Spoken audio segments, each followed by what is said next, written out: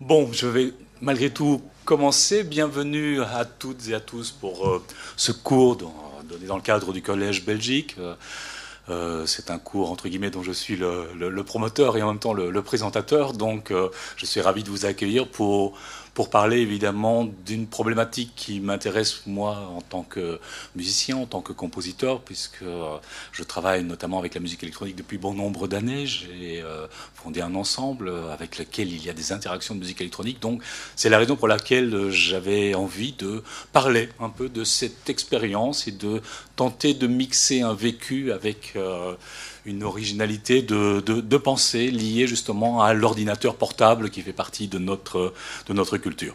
Alors voilà, le titre Laptop et autres hybridations, un renouvellement de l'inouï sonore au XXIe siècle. Alors pour cette conférence, euh, j'ai la, la chance et le, bonheur d'accueillir Gilles Gobert, qui est à mes côtés, donc, euh, qui lui aussi est nanti d'un laptop. Tout à l'heure, vous aurez l'occasion de voir ce qui se passe sur son écran. On va le projeter donc, euh, euh, Gilles Gobert, qui est, qui est, compositeur, qui est, membre aussi du même ensemble. Nous sommes cofondateurs finalement d'un ensemble qui s'appelle le, Laps Ensemble. Et donc, il vous montrera à quelques moments de, de cette conférence quelques exemples d'utilisation de l'ordinateur comme instrument de musique. Car c'est bien évidemment le, le sujet de cette euh, conférence. Le laptop, l'ordinateur portable, comment l'imaginer au XXe et au XXIe siècle comme, euh, comme instrument de musique, comme porteur aussi de, de nouvelles pensées, de nouvelles idéologies musicales, comme euh, promoteur de nouvelles partitions et de nouvelles idées pour les compositeurs. Alors, il est évident, je vous en parlais, je vais partir de mon expérience, d'une expérience personnelle, qui est celle de, du Laps Ensemble, que moi et Gilles avons fondé il y a en 2013.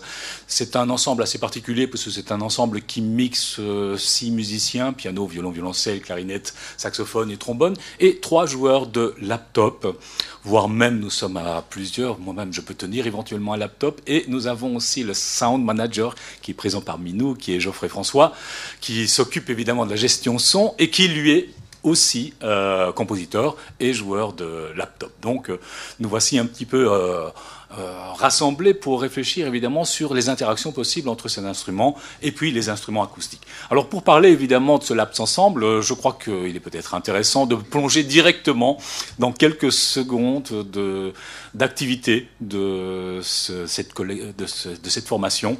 Euh, je, je, me suis dit c'est peut-être intéressant de reprendre un petit trailer qu'on avait fait il y a quelques années, mais c'est peut-être un moyen aussi de rentrer dans le vif du sujet.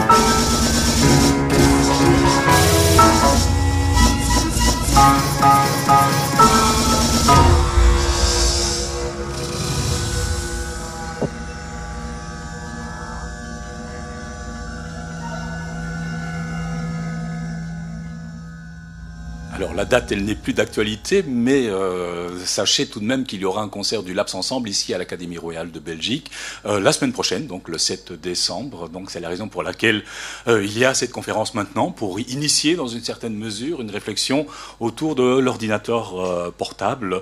Donc un concert donc la, semaine prochaine dans la salle, la salle du trône. C'est l'occasion donc de réfléchir évidemment à la problématique de la musique électronique. donc par conséquent, je vais prendre une première partie de de cette conférence pour réfléchir à certains concepts qui vont nous permettre de mieux comprendre la problématique des interactions avec euh, l'ordinateur portable. La première chose, évidemment, ce qui caractérise aussi le Laps Ensemble, c'est que nous avons tenté d'imaginer un collectif dans lequel euh, il y a cette dimension entre guillemets nouvelle de l'ordinateur portable, qui est finalement un objet virtuel, un objet un peu hiératique, mais de se demander comment on peut l'utiliser comme instrument de musique. Et donc, dans une certaine mesure, qui parle d'instrument de musique parle de personne, parle d'une forme d'incarnation, d'une sensibilité. Donc, à la question de savoir est-ce que nous pouvons répondre à cette recherche d'une dimension incarnée du son euh, électronique. À partir de là, on peut plonger un peu dans, l'histoire, c'est-à-dire on parle de son. Donc euh, l'histoire de la musique nous a montré quand même que les compositeurs ont réfléchi sur la problématique du, son. Et quand on parle de son, finalement, euh, il y, a quand même trois grandes typologies de son. Et je vais tout simplement les, définir. C'est tout simplement le fait que nous avons des sons définis par leur harmonicité, des sons harmoniques, c'est les sons des instruments, les sons de la voix, des sons inharmoniques qui sont des sons plutôt apparentés aux sonorités de cloche, et puis nous avons les bruits. Ce qui est assez intéressant, c'est que ça correspond aussi à une, réflexion euh, liée à l'histoire de la musique. Pourquoi? Parce que la réflexion, par exemple, sur l'harmonicité est une réflexion qui a été très importante au XIXe siècle, que l'on pense à Chopin, que l'on pense à Liszt. Ce sont des compositeurs qui ont découvert l'acoustique musicale et qui ont commencé à réfléchir sur comment peut-on composer en ayant conscience de cette problématique des harmoniques, euh, notamment des harmoniques naturelles. Alors la question des harmoniques, vous savez, c'est un son quelque part, c'est une sorte de, molécule faite d'atomes. Et les atomes, ce sont des sonorités élémentaires, des sinus, des, des, sons élémentaires. Et donc cette molécule dite harmonique, finalement, elle est constituée d'atomes qui sont dans des relations proportionnées. À savoir que vous avez une fréquence, une vibration, si vous voulez, fondamentale. Et puis, euh, toutes les harmoniques ne sont jamais que dans des rapports entiers par rapport à cette fondamentale. Donc, il y a une donnée numérique, il y a une donnée mathématique, je crois, qui est à la base même de la construction du fait sonore. Peut-être pour vous donner un petit exemple très rapide, euh, je crois que c'est euh, entendre, c'est vos plusieurs, plusieurs conférences. Donc, je vous propose simplement de découvrir le, son harmonique par lui-même. Et je vais utiliser un petit truc que j'utilise souvent, c'est-à-dire un petit exemple, en analysant ma propre voix. Et donc je vous propose d'écouter ma voix, vous l'entendez déjà maintenant, je suis un peu égocentrique, alors vous allez encore l'entendre une deuxième fois. La voici. Vous avez ici une petite représentation, c'est une représentation de physique acoustique, hein, où on peut voir évidemment toutes les, comment fonctionne cette molécule du son. Et donc vous avez toutes les particules qui constituent constitue ce, son. Il y a des particules qui sont plus présentes, très noires, des particules qui sont moins présentes. Je vous propose de les écouter une à une. Ça, c'est la, merveille évidemment d'informatique, c'est qu'on peut commencer à décortiquer, hein, un peu comme un équaliseur. On peut se permettre d'entendre les fréquences une à une, les composantes, chaque atome individuellement.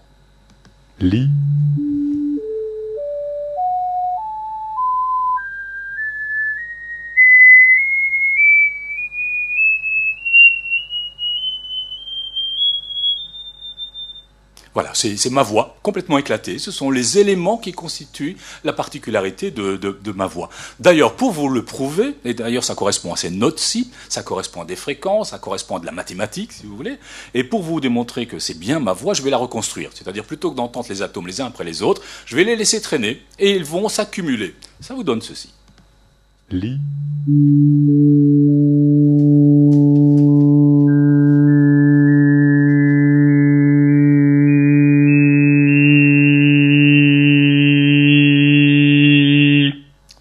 Ma voix, simplement par accumulation de ces, de ces, de ces particules, de ce qu'on appelle donc les harmoniques naturelles. Les compositeurs comme Liszt, comme Chopin, ont écouté finalement hein, euh, comment sonnait un piano, comment on pouvait travailler avec ces harmoniques sur la base de ce qu'ils avaient lu dans les bouquins d'acoustique finalement. Donc euh, ça a bouleversé prendre conscience des harmoniques naturelles a bouleversé la musique chez Chopin, mais aussi chez Debussy, chez les compositeurs du, 20e, notamment les compositeurs dits spectraux, comme Griset, comme euh, Tristan Muraille. Alors il y a une autre typologie de sons, c'est les sons inharmoniques. Et les sons inharmoniques, quelle est leur particularité C'est que en fait, ces sons ne sont pas dans des rapports mathématiques entiers. Les, molécules, les atomes, finalement, qui constituent cette molécule de son, ne sont pas dans des rapports entiers, mais dans des rapports, dans décimales. Par exemple, le partiel 2, on ne parle plus d'harmonique parce que c'est pas l'harmonicité, c'est quand c'est bien équilibré. Inharmonique, un peu déséquilibré. Pourquoi? Parce que, euh, par exemple, le partiel 2 est dans un rapport de 4,67 par rapport à une fondamentale. Ça vous donne quelque chose de ce genre. Un son. Ça, c'est une cloche indonésienne, euh, mais c'est un son inharmonique, c'est-à-dire qu'il y a des composantes. Quand on écoute attentivement, on peut entendre ces composantes. On peut entendre qu'il n'y a pas qu'une seule note, mais qu'il y a plusieurs notes en réalité. Mais chaque élément individuel n'est pas dans un rapport harmonique. Et là, il y a des rapports mathématiques, décimaux, qui sont extrêmement importants, et on peut s'en servir pour essayer de construire d'ailleurs des objets inharmoniques. Et la dernière chose, c'est le bruit. le bruit qui va devenir un élément extrêmement important au XXe siècle, à commencer par exemple par les futuristes. Hein. Vous voyez ici d'abord un orchestre de bruit qui est proposé par Russolo, où il invente des machines pour faire des bruits, et il désire bruiter, évidemment, on est vers 1913, et Russolo qui va écrire ce fameux euh, livre important, L'art des bruits. Alors que c'est un bruit, c'est une saturation, c'est une organisation euh, non périodique des, fréquences, c'est quelque chose d'un petit peu anarchique, si vous voulez. Alors, juste pour vous montrer un petit exemple, euh, je vais venir directement dans la pratique. Voilà. Ceci est un générateur de bruit que j'ai fait avec mon ordinateur. Je, vous montrerai un petit peu comment ça fonctionne plus tard, mais vous pouvez entendre un bruit. Un bruit, en réalité, c'est une saturation de fréquences. Il y a énormément de fréquences qui sont à l'œuvre dans ce son. C'est simple. Je vais les retirer. Vous ne les entendez pas. Oups. Et je vais les ajouter les unes à eux. Je vais saturer mon espace.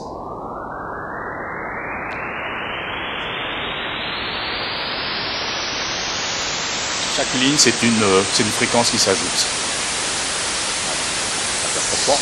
Et ce qui est intéressant dans le bruit, c'est qu'on peut commencer à le sculpter, finalement?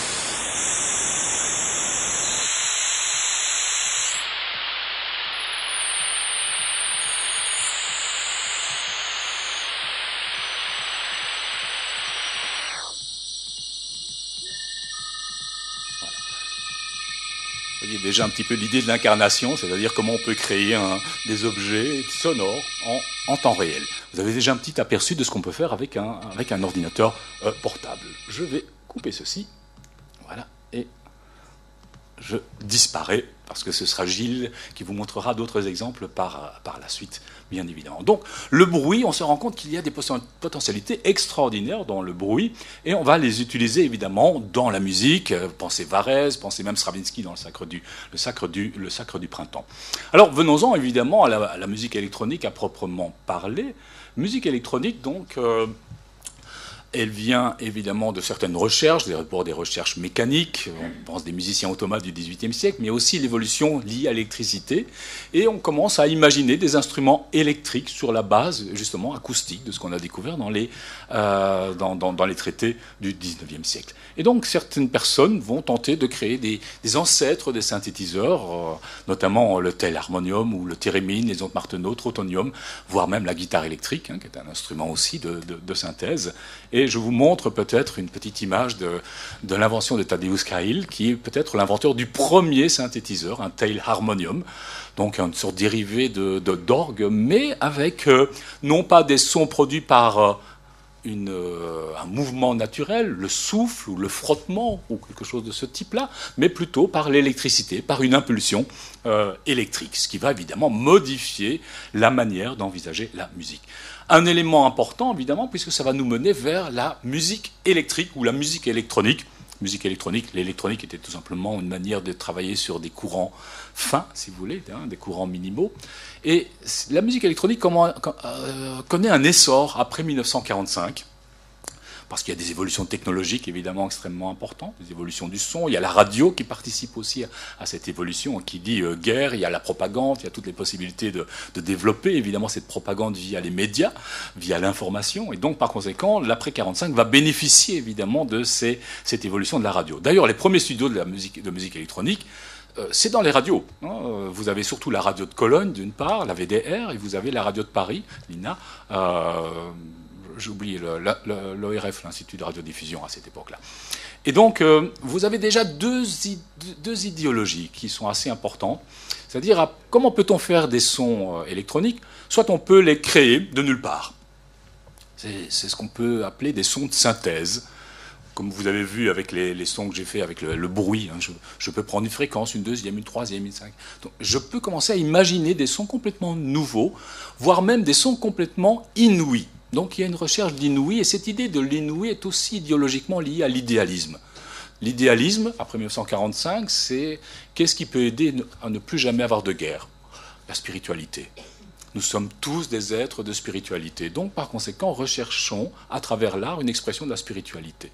La musique électronique est un élément qui peut ouvrir vers la transcendance et vers la spiritualité. Stockhausen, qui est un des grands compositeurs de, son de synthèse euh, idéaliste dans les studios de, de Cologne, justement, après 1945, qu'est-ce qu'il veut faire avec la musique électronique? La première chose qu'il veut faire, c'est une messe électronique pour vous démontrer que c'est bien la spiritualité qui est l'élément important. Donc il y a l'idée de la transcendance et de l'inouï, ça revient à mon titre d'ailleurs de la conférence, la recherche d'un inouï pour nous faire penser la musique dans son rapport avec le cosmique, notre rapport avec l'univers. Et puis il y a les sons concrets. Là, on est du côté de Paris. Il y a quelque chose de plus pragmatique, c'est-à-dire quelque chose de beaucoup plus euh, en rapport avec notre oreille, notre écoute. Et donc, par conséquent, vous avez ce qu'on appelle la musique concrète qui va apparaître et qui va, elle, euh, tenter de, profiter de notre écoute du monde. Vous écoutez le monde, il y a des sons euh, extraordinaires dans ce monde dont on n'a pas conscience en réalité. Et tout simplement nous apprendre à écouter le monde d'une part, et ensuite de détourner cette écoute. C'est-à-dire, si vous entendez un, son inouï, ben, peut-être que vous vous rendrez compte que c'est associé à un bruit de vent dans les arbres ou bien une balle de ping-pong qui tombe sur une table. On peut l'enregistrer et on peut le, le, dévoyer, ce son. C'est-à-dire, à un certain moment donné, vous oubliez le côté anecdotique. Vous oubliez que c'est une balle de ping-pong. Vous, simplement, vous, simplement, euh, vous profitez simplement de la qualité de son qui est ainsi enregistré proposé à notre oreille. Donc voilà un peu ces deux orientations. Pierre Schaeffer, euh, qui dès les années 40 va rechercher évidemment un travail sur les sons concrets. On peut entendre un petit extrait, par exemple, les euh, études au chemin de fer. Il va enregistrer des sons de chemin de fer, des sons de train, des sons de gare, et il va les détourner, c'est-à-dire, oui, dans votre conscience, vous allez tout de suite vous rendre compte que ce sont des sons de train, mais petit à petit, il va les organiser d'une manière totalement inouïe, de totalement inédite.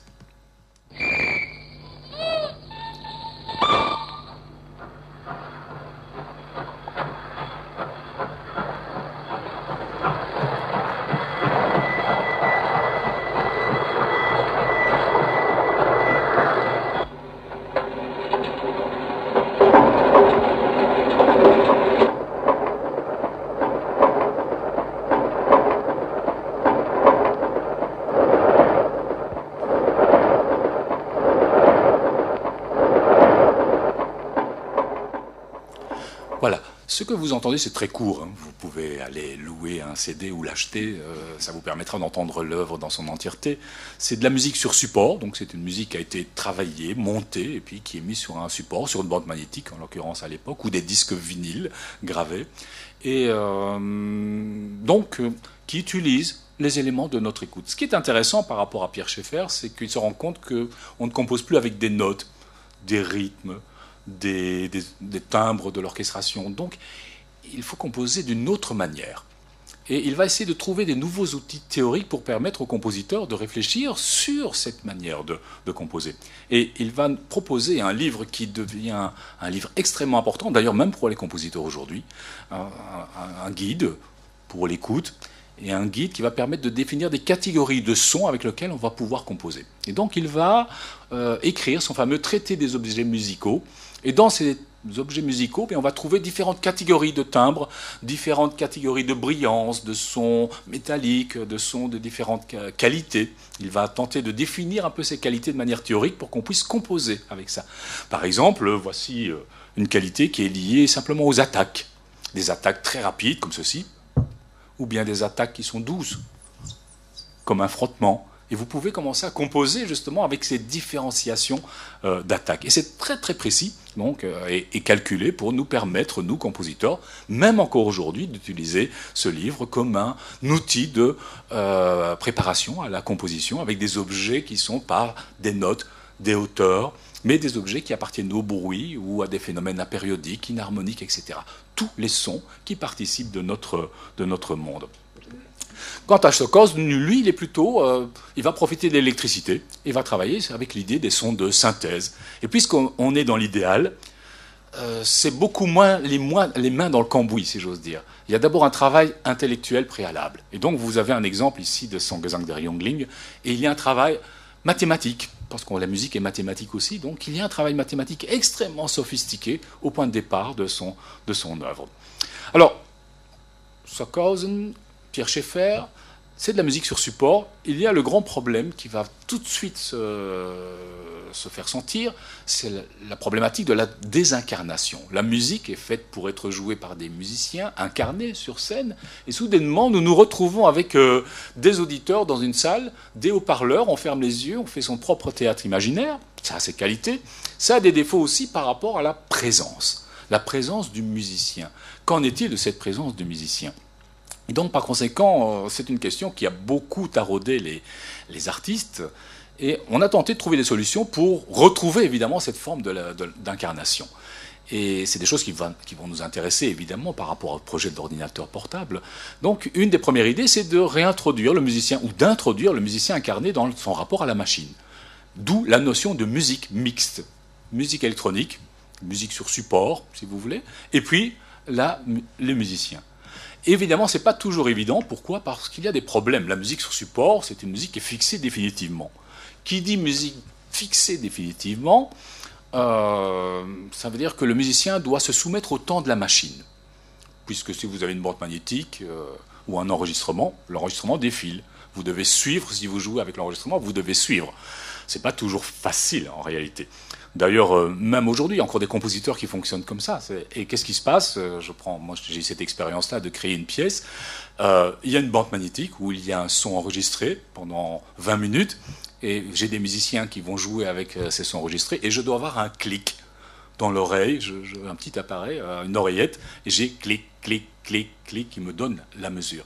C'est terrible parce qu'évidemment, vous n'avez aucune liberté d'interprète vous êtes presque comme un métronome, puisque vous devez simplement donner des indications métronomiques aux musiciens de manière à suivre le plus possible la, bande magnétique ou le son enregistré. Donc ce n'est pas toujours très agréable et très fin, j'ai envie de dire, par rapport à l'expression euh, musicale. La deuxième chose, évidemment, c'est que la musique est destinée à être diffusée dans un espace. Oui, mais c'est très différent si vous jouez, je prends l'exemple de l'Académie royale, vous avez la salle des colloques qui est extrêmement sèche et vous avez la salle du trône qui est extrêmement réverbérante. Euh, si vous jouez dans, une salle extrêmement réverbérante, il est évident que vous devez jouer beaucoup plus lentement. Si vous jouez dans une salle sèche, vous allez jouer plus, rapide, plus rapidement. Lorsque vous avez un son fixé, il se défile toujours à la même, à la même vitesse. Donc euh, vous ne pouvez pas arranger l'interprétation en fonction de l'acoustique dans laquelle vous trouvez. Donc très rapidement, euh, il y a des questionnements auxquels les compositeurs vont tenter de, répondre. La première chose, évidemment, c'est le rapport de la soumission au temps de la machine. Et euh, un personnage important qui va revenir souvent, c'est quand même un grand maître à penser, c'est Stockhausen, Karl-Heinz Stockhausen, un compositeur allemand dont on a parlé tout à l'heure.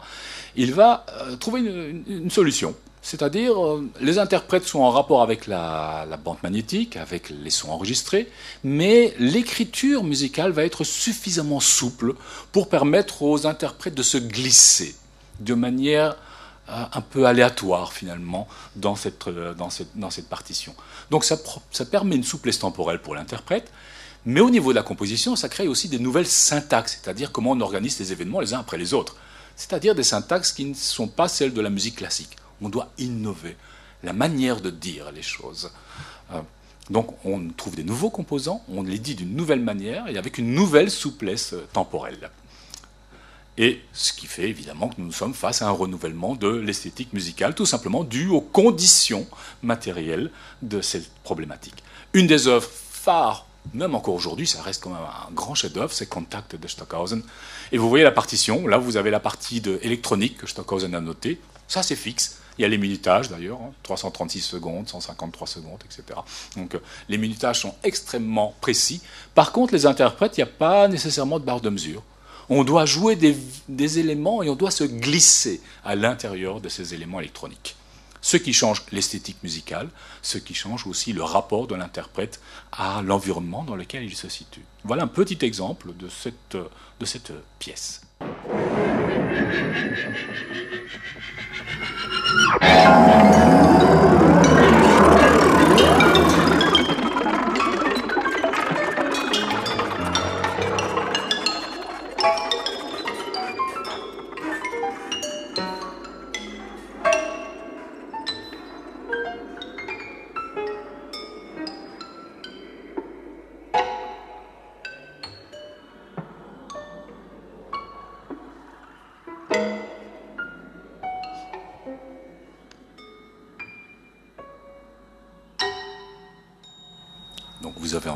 Y a un piano, de la percussion et de la musique électronique.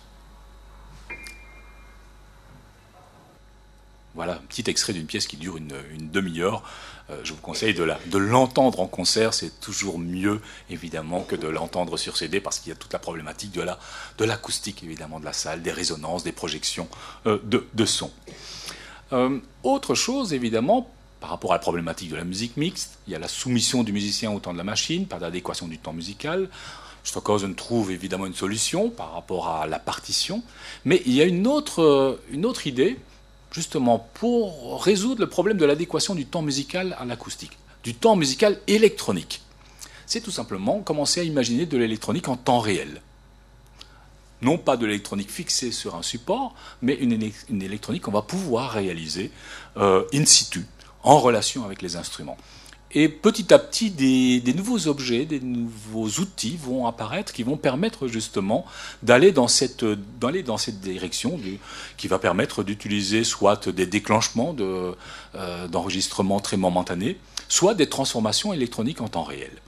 Une des premières grandes pièces on retrouve encore Stockhausen, parce que c'est vraiment quelqu'un qui est un novateur extraordinaire, évidemment, du XXe siècle. Il est aussi un personnage important parce que c'est peut-être un des rares compositeurs à avoir réfléchi à la problématique de la psychoacoustique. C'est-à-dire, c'est pas seulement la partition qui est importante, mais comment on vit notre rapport à la partition, notre rapport d'interprète et notre rapport de personne écoutante, en fait. Et donc, par conséquent, il va imaginer très rapidement intégrer des transformations électroniques en temps réel avec des, euh, des manipulations instrumentales. Alors je vous propose un petit extrait. Et là, nous avons un film qui a été réalisé dans les années 60. Hein. L'œuvre date de 64-65, Microphonie 1 et 2. Alors, Microphonie 1 et 2, qu'est-ce que c'est? C'est une pièce pour un grand tam-tam et quatre interprètes, cinq interprètes, quatre interprètes qui sont autour du tam-tam avec chacun leur micro et vont enregistrer des résonances du tam-tam avec des micros très proches ou très loin. Donc là, il y a déjà de la musique électronique parce que l'enregistrement et la prise de son fait partie, puisque c'est un traitement du son évidemment. Donc on est déjà dans la réalité de la musique électronique. Et donc ils vont bouger leur micro, d'une part, et puis alors ils vont exciter ce tam-tam avec toute une série d'objets, depuis la, barre de métal, une baguette de bois ou encore euh, du polystyrène, etc. Essayer de créer des conditions de production euh, qui se rapprochent évidemment des conditions de production de la musique instrumentale, en ayant une réflexion sur la problématique du bruit, qui vient évidemment des futuristes dont on a parlé tout à l'heure. Donc, ça, c'est une chose, c'est quatre musiciens. Et puis, il y a un, musicien externe qui, lui, va filtrer. Il a un petit boîtier, il a fait construire un petit boîtier, Stockhausen a fait construire un petit boîtier portable. Et donc, il va reprendre les sons de ces, de ces musiciens, captés, donc les sons captés par les quatre micros des musiciens, et il va les moduler avec des potentiomètres, on en parlera tout à l'heure, hein, avec des contrôleurs, vous en avez ici pour ceux qui le voient, donc euh, des contrôleurs qui vont permettre justement de transformer le son en temps réel. Voilà un petit extrait de cette microphonie.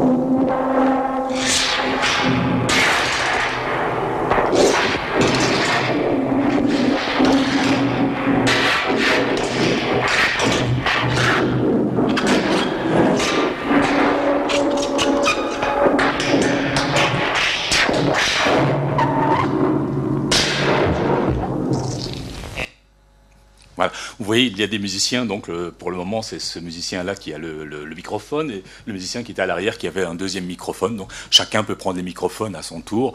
Et euh, vous avez vu Stockhausen qui est en train de moduler le son en, temps réel. Ce qui est assez intéressant, évidemment, c'est que Stockhausen va nous proposer, dans une certaine mesure, la, la naissance du musicien électronique. C'est-à-dire quelqu'un qui aura une participation active dans la réalisation de la pièce et surtout, comment peut-on définir un peu cette idée du musicien euh, électronique? C'est que c'est comme un musicien instrumentiste, comme un violoniste ou comme un, comme un pianiste, peu importe, c'est un musicien qui a besoin de son écoute. C'est-à-dire les gestes de Stockhausen sont réalisés en fonction de ce qu'il entend et des types de transformations qu'il va opérer. C'est pas des choses automatisées, c'est pas un bouton qu'il appuie et puis euh, c'est l'instrument électronique qui fait les choses par lui-même. Non, il interprète. Et on voit que ces gestes sont impliqués évidemment dans la réalisation du, discours musical. Et donc euh, le geste important, euh, l'écoute. Et j'ai envie de dire, ce rapport entre l'écoute et le geste est peut-être un élément fondamental de ce musicien euh, électronique. Et la dernière chose, c'est la nécessité d'interface appropriée, c'est-à-dire le petit boîtier que Stockhausen a, créé pour pouvoir transformer les sons en temps réel. C'était des choses qui étaient relativement rares donc, dans, à, cette, période-là. Et donc nous arrivons évidemment à la problématique de l'incarnation, à savoir le geste musical, ce que Stockhausen nous a mis en évidence. Et euh, il y a notamment un musicologue, Claude Cadot, qui nous parle évidemment le geste musical, puisque c'est un moyen d'action sur le, le, monde physique, et c'est un moyen d'action à l'aide du mouvement, du mouvement du corps, pour pouvoir produire évidemment quelque chose au niveau euh, du monde physique. Et c'était aussi un moyen de communication de l'information.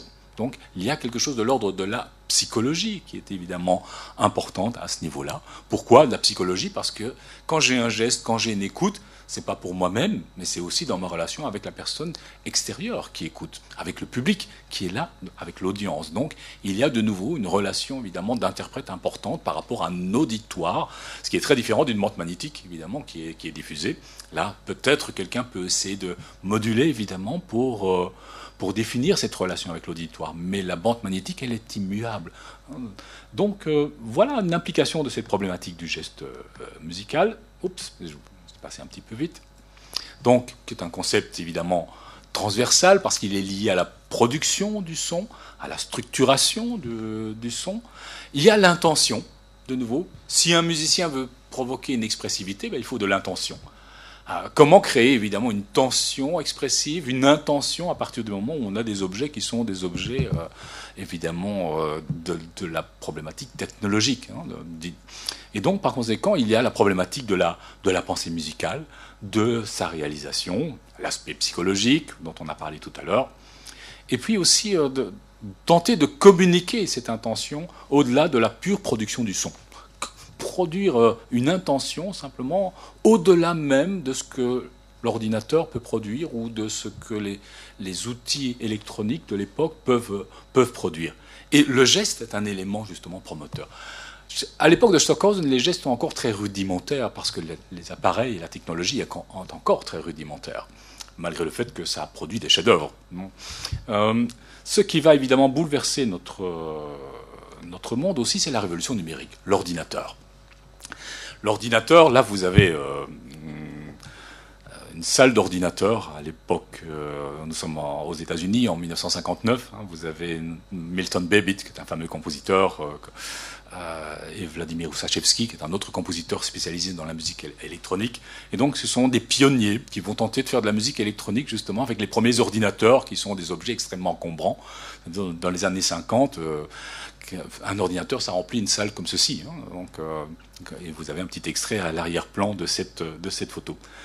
Il y a l'idée numérique, il y a l'information, l'informatique, il y a l'idée numérique, parce que l'information est une information de type mathématique, ce sont des nombres que l'on traite, évidemment. Euh, par rapport à ces machines, je, voulais faire un petit, un petit clin d'œil, justement, en se disant qu'on n'a pas attendu 1950 pour faire du numérique, puisque déjà en 1833, il y avait euh, euh, Charles Babbage qui avait imaginé une machine différentielle, une machine qui travaille déjà sur des données numériques sur la base d'un métier à tisser. Vous savez que le métier à tisser, c'est justement toute une série d'opérations in, on, on, off, 1, ouvert, fermé, le fil passe, le fil ne passe pas, etc. C'est juste uniquement une suite de, choses ouvertes, hein, de canaux ouverts ou de canaux fermés, en fait, qui euh, participent à, cette idée du métier à tisser. Et ça va donner cette machine différentielle. Et ça va amener d'ailleurs la pensée, euh, la pensée digitale, notamment, avec cette idée qu'on va fonctionner on, off, et l'ordinateur fonctionne selon ce modèle on-off. Ce sont des circuits ouverts et des circuits fermés. Il n'y a que des zéros et des 1 finalement dans un ordinateur. Bref, pour rappeler la petite histoire, et les choses qui vont nous intéresser, évidemment, c'est l'ordinateur et, la musique. Donc dès 1945, on a les premiers ordinateurs, mais très rapidement, les musiciens vont s'intéresser à la chose. Ils se rendent compte qu'il y a du potentiel, évidemment, dans l'ordinateur. Euh, il y a des applications musicales, notamment avec les laboratoires Bells, qui sont euh, intéressés par la chose, notamment par rapport à la problématique de la transmission de l'information, notamment les téléphones et autres. N'oubliez pas que pour téléphoner, il faut du son. Et donc, il faut réfléchir quel type de son, quel type de traitement, quel type de bruit peut-on avoir pour que l'information puisse passer à travers le téléphone. Il y a des choses extraordinaires hein, aussi, par exemple, même à travers un téléphone maintenant, euh, on a des téléphones portables, mais on a le même problème. Par exemple, c'est la bande passante. Quelles sont les fréquences qu'on entend? Si vous jouez une contrebasse, par exemple, dans un téléphone et que quelqu'un à l'autre bout du monde écoute votre téléphone, il entendra un son de contrebasse. Alors que fondamentalement, les sons les plus graves de la contrebasse ne passent pas dans le téléphone. Donc il y a des, recherches qui ont été faites pour voir comment peut-on transférer l'information sans perdre la qualité de l'information. Donc il y a toute une série de recherches qui sont réalisées sur, sur le son, justement. Et donc ça va servir les, musiciens. Euh, ce qui va nous, préoccuper aussi, c'est le fait que l'évolution de l'ordinateur est liée aussi à la miniaturisation hein, de, de, la technologie, avec l'invention du transistor, des puces, des microprocesseurs, évidemment. Et finalement, ces laboratoires qui mixaient la recherche informatique, numérique et puis la recherche euh, musicale vont devenir très spécialisés. on va voir évidemment les premiers studios de recherche musicale euh, qui vont être en rapport avec l'informatique, qui vont apparaître, notamment l'IRCAM ou bien le MIT euh, à Boston, et ainsi de suite. Un élément important pour l'APS, c'est l'invention de l'ordinateur portable, 1973 et euh, un tout petit peu plus tard, l'invention des vrais synthétiseurs numériques hein, portables, notamment via Yamaha, qui a imaginé des systèmes de synthèse, et surtout l'idée de la portabilité. Parce que finalement, cet ordinateur portable ici, eh bien, vous avez beaucoup plus de possibilités dans ce petit ordinateur portable que dans les fameuses machines que vous avez vues tout à l'heure qui remplissaient, euh, qui remplissaient une pièce. Moi, je me souviens quand j'étais étudiant en électronique, euh, dans les années 70, c'était la même chose. On avait des, les, pièces remplies, évidemment, d'outils électroacoustiques, alors que maintenant, avec notre ordinateur, on peut venir au cours et puis on peut travailler. Gilles Gobert, d'ailleurs, enseigne hein, l'informatique musicale euh, et la, musique électronique au Conservatoire de Mons et au Conservatoire de, Liège il pourra largement en parler. Éventuellement, il y, a des, il y aura des questions. S'il y a des questions, on peut répondre à deux, évidemment, à, celle-ci. Euh, ordinateur portable, voilà, un petit ordinateur, une petite, euh, un petit clin d'œil, euh, et notamment l'idée du Macintosh aussi, le premier portable. Macintosh qui a été j'ai envie de dire, une marque qui s'est très rapidement préoccupée de la problématique de la, de la musique, de la production de la musique. Mais je ne fais pas de la publicité pour Macintosh. Donc, je passe ceci. Euh, encore que, il y a un, élément extrêmement important pour nous, euh, c'est évidemment la communication entre les, différentes technologies, entre les différentes machines. Et il y a surtout une grande, euh, invention, c'est un protocole qui permet aux machines d'envoyer des informations. Donc tout n'est jamais qu'une histoire de, de chiffres, 0, 1, si vous voulez. Un son, je vous ai parlé des harmoniques, bah, qu'est-ce que c'est un son? Ce sont des harmoniques naturelles, c'est des fréquences. Donc il suffit de savoir la vibration de la fondamentale, 32 Hertz par exemple, 32 battements d'air, si vous voulez, par seconde, et vous allez entendre un do grave. Si ma main pouvait battre comme ça l'air pendant 32 fois en une seconde, vous entendriez un do grave, tout simplement. Ce n'est que le son, ce n'est jamais que de l'air qui, euh, qui, bouge. Donc 32 euh, Hertz, eh bien, on peut euh, avoir un chiffre 32 qui va euh, être numérisé par un, par un ordinateur et puis envoyé dans un haut-parleur dont la membrane va bouger 32 fois et vous allez avoir un do, do fondamental. Et puis après, vous avez toutes les, évidemment, euh, fréquences. Bref, il faut discuter entre les machines. Notamment dans notre ensemble, nous avons trois laptops, euh, nous avons un ingénieur du son, et donc il faut arriver à, discuter entre les machines. Et le protocole MIDI est un protocole aussi extrêmement important pour communiquer entre les machines. Et donc c'est un protocole qui a été généralisé et qui permet d'envoyer des codes mathématiques. Gilles nous montrera d'ailleurs peut-être tout à l'heure des codes qui nous permettent de, discuter finalement d'une machine vers une autre euh, machine. Par rapport à l'électronique, j'ai envie de dire quelque chose d'important, c'est qu'on parle beaucoup de musique savante, mais en fait, les musiques populaires ne sont pas en reste. Et d'ailleurs, il y a au XXe siècle une très grande interaction entre les musiques populaires et les musiques savantes. C'est-à-dire, les musiques savantes donnent souvent des impulsions, comme par exemple Stockhausen, Pierre-Henry, et on se rend compte que Stockhausen, Pierre-Henry, Pierre Schaeffer, musique concrète, musique euh, de synthèse, vont influencer largement des musiciens qui viennent des cultures populaires.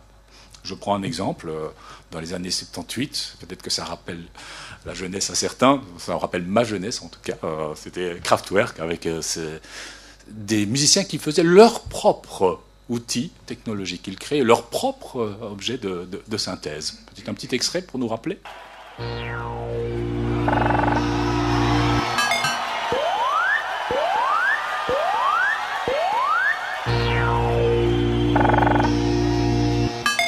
Я твой слуга, я твой работник.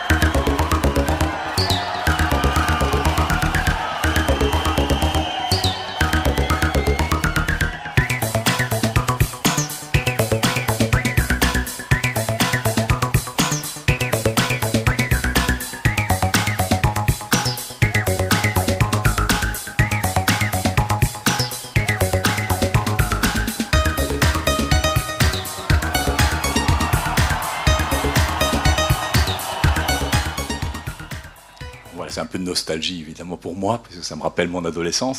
Mais euh, toujours est-il que, bon, il est évident que esthétiquement, il y a des choses différentes, puisqu'on est dans le monde de la pop, et pour la pop, le beat, euh, le rythme élément, et la pulsation est un élément extrêmement important, alors que du côté de, de la musique électronique euh, savante, on a essayé d'éviter évidemment le beat. Pourquoi? Parce qu'on recherche des choses inouïes on cherche à nous plonger vers un autre monde que le monde de la matérialité, que de la marche, que de la danse, etc. Donc euh, c'est aussi un point de vue idéologique.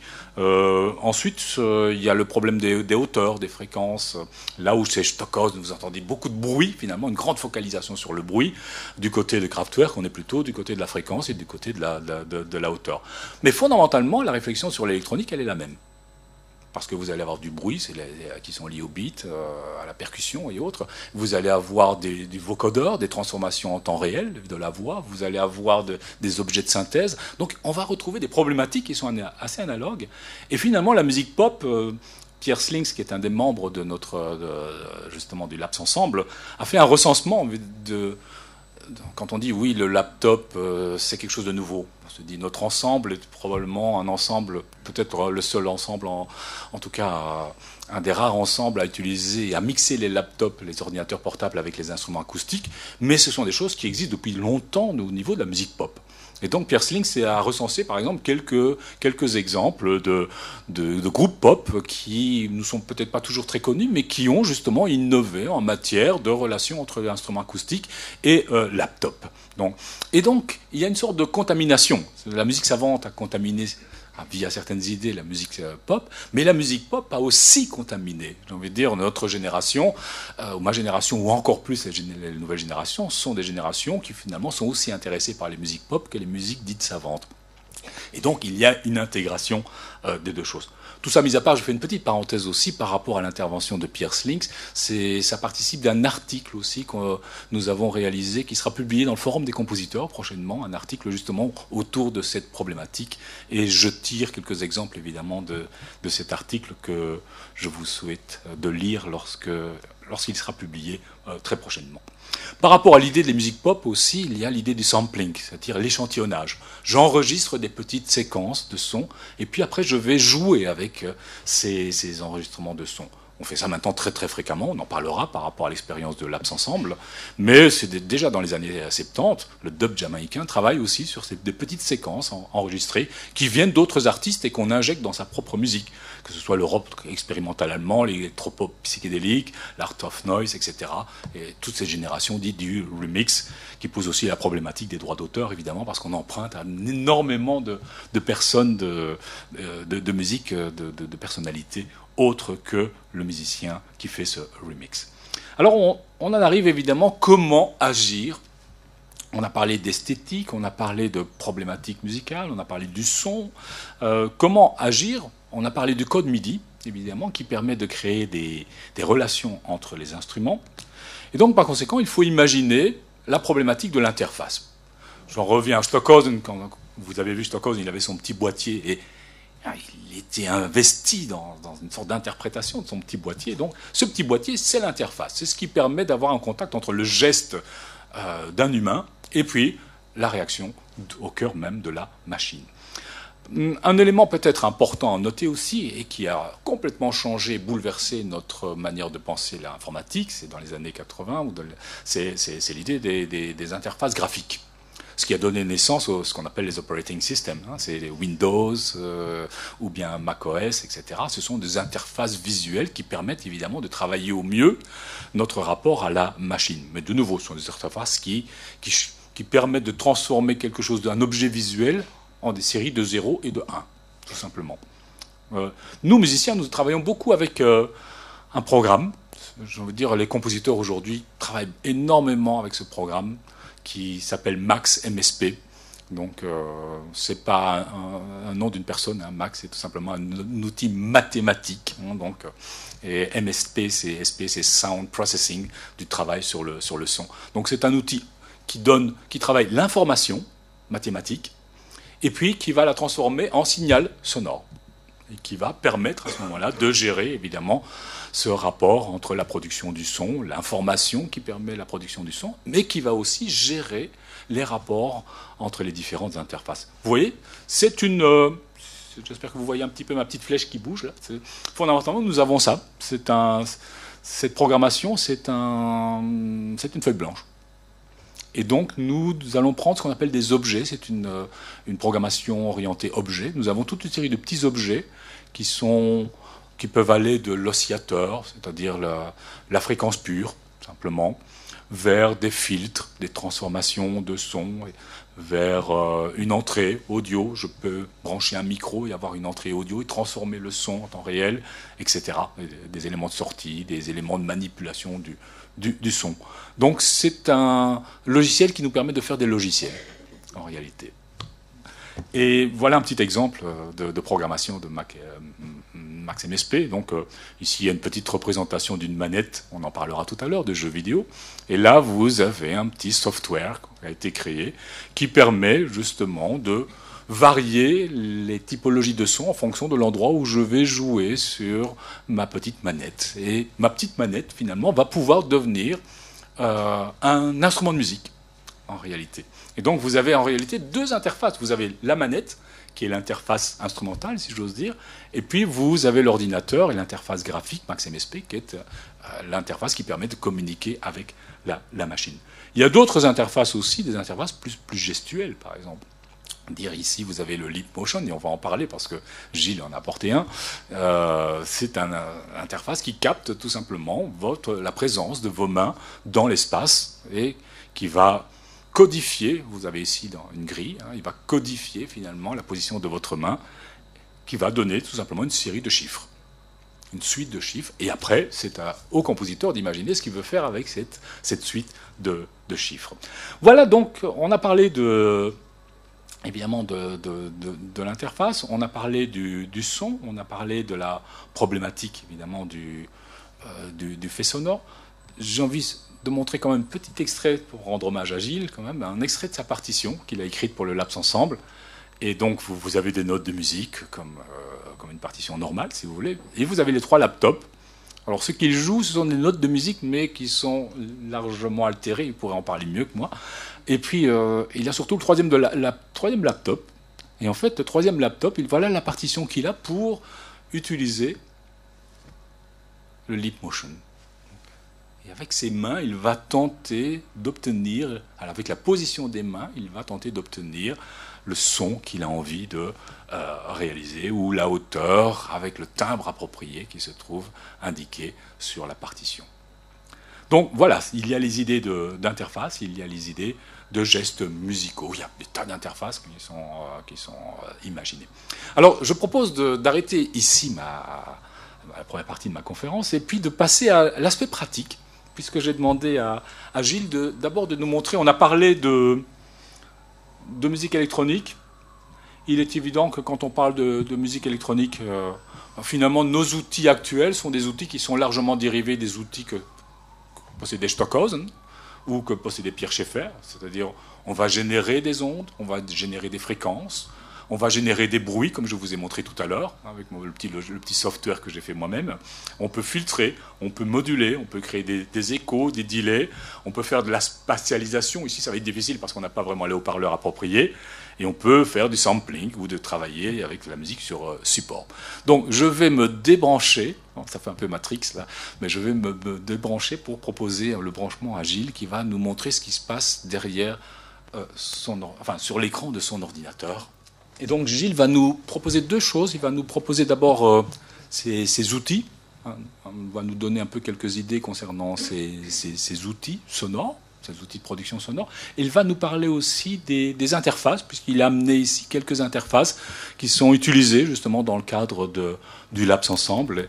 Et euh, on essaiera un petit peu de les montrer pour les personnes qui sont dans, le fond. On, aurait dû prendre une caméra pour pouvoir les, filmer, mais euh, vous allez avoir la possibilité de d'abord d'entendre, de voir comment les interfaces agissent finalement à l'intérieur de l'ordinateur. Bon, il y a des interfaces évidemment, je peux montrer peut-être celle-ci, qui sont les interfaces, qui sont les interfaces qu'on connaît, euh, qui sont utilisées par la, par la radio. C'est des, interfaces dans lesquelles vous avez ce qu'on appelle des sliders, hein, des, potentiomètres et différents types de potentiomètres, des potentiomètres qui glissent, ou bien des potentiomètres qui sont des, boutons, et de nouveau qui permettent d'envoyer simplement des, ici des informations mathématiques à la machine et qui vont traduire finalement par l'ordinateur en phénomènes sonores. Gilles, je te laisse peut-être là la parole. Je vais, je vais en fait faire l'inverse de ce que j'avais prévu, c'est-à-dire que je vais rebondir plutôt sur ce que dit Claude euh, concernant les, interfaces, et puis je reviendrai peut-être, si on a le temps, sur euh, quelques principes de, traitement sonore en fait euh, très classiques et très scolaires qui étaient utilisés à la base de la musique électronique et encore aujourd'hui, peut-être de manière un petit peu plus développée. Et donc, je vous ai amené quatre, euh, quatre interfaces, en fait, hein, qui sont donc, euh, comme Claude euh, l'explique, des intermédiaires.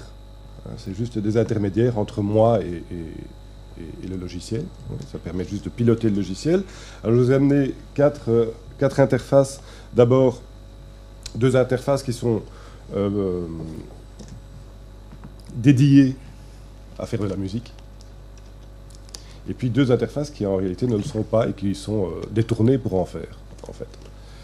Puisque à partir du moment où euh, Claude vous a parlé du, logiciel MaxMSP, il y a d'autres types de logiciels qui permettent de faire ça, mais à partir du moment où, euh, un, objet envoie des nombres, quels qu'ils soient, Claude a parlé du protocole MIDI, mais il n'y a, pas que ça. À partir du moment où un, objet envoie des nombres, que le logiciel peut les recevoir, ben, je veux dire, a priori, on peut les interpréter et on peut faire des tas de, choses avec, euh, ça. Euh, alors le premier exemple, ben, je vais commencer par le, contrôleur le plus, plus usuel, hein, on va dire. C'est effectivement ce que Claude a, dit. C'est un, contrôleur qui permet d'avoir des, effectivement des, potentiomètres, qui permettent donc globalement d'avoir des, gestes plutôt linéaires, plutôt des boutons, pour avoir des, gestes plutôt euh, ponctuels, on va dire. Et des boutons rotatifs qui permettent aussi euh, soit de faire des gestes plutôt linéaires, soit de varier des paramètres, par exemple. Ce que permet aussi le potentiomètre, mais euh, voilà. donc ce sont les trois types de commandes qu'on trouve ici sur, ce, sur cette interface. Alors, montrer pour ceux, ceux, qui sont dans le fond. Donc l'idée d'un bouton, l'idée d'un slider, et puis l'idée d'un autre bouton. Ça c'est simplement un bouton qu'on appuie, et cela c'est un bouton euh, rotatif, évidemment, qui permet d'avoir des contrôles différents. Alors il faut, il faut évidemment se représenter la chose comme étant une, une, chaîne d'interface, en fait. Hein. Claude en, a parlé, c'est-à-dire que ça, c'est l'interface finalement finale qui communique, avec laquelle je communique. Mais elle communique avec une autre interface qui est le logiciel, que vous voyez là, mais ce que vous voyez là est en soi déjà une interface par rapport à la programmation à un autre niveau. Hein, parce que si, si j'ouvre euh, la chose, forcément, il y, a, un, tas d'objets internes qui communiquent ensemble et qui permettent ensuite de faire fonctionner le moteur, si vous voulez. L'idée, c'est de construire des, moteurs qui, font des choses. Euh, alors, voilà, par exemple, j'ai ici, à gauche de l'écran, trois pistes oui, parce que Claude vous a dit aussi qu'il y avait, grosso modo, on va dire qu'il y a deux choses. Il y a à la fois les sons de synthèse, oui, et puis le travail sur des sons qui sont préenregistrés. En gros, ce sont les deux grandes familles, et ensuite ils se combinent, évidemment. Ici, c'est un travail qui est uniquement euh, sur des sons préenregistrés, sur des échantillons. Et j'ai deux fois trois pistes, d'accord? Trois pistes à gauche, trois pistes à droite, et je peux à ce moment-là, via mon interface, lire, dans ce cas-ci je vais lire, je lis la, troisième, qui, voilà, qui est un son euh, tenu. Je peux varier la vitesse de lecture. Vous voyez que je vais de plus en plus vite, que je ralentis. peux éventuellement changer la hauteur. Aussi, oui. Je peux passer d'une piste à l'autre. Oui. Je peux varier aussi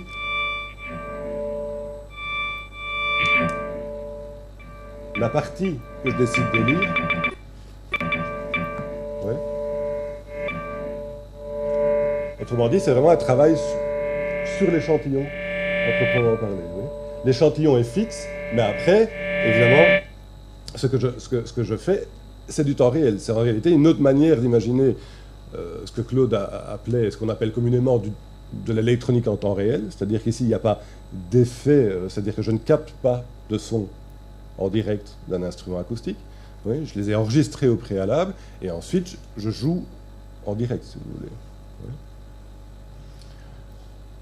Hein, donc ça, c'est pour le, premier, l'exemple de, gauche. L'exemple de, droite, là, si on, veut encore plus simple, sauf que là, si on veut, le, moteur fonctionne tout seul.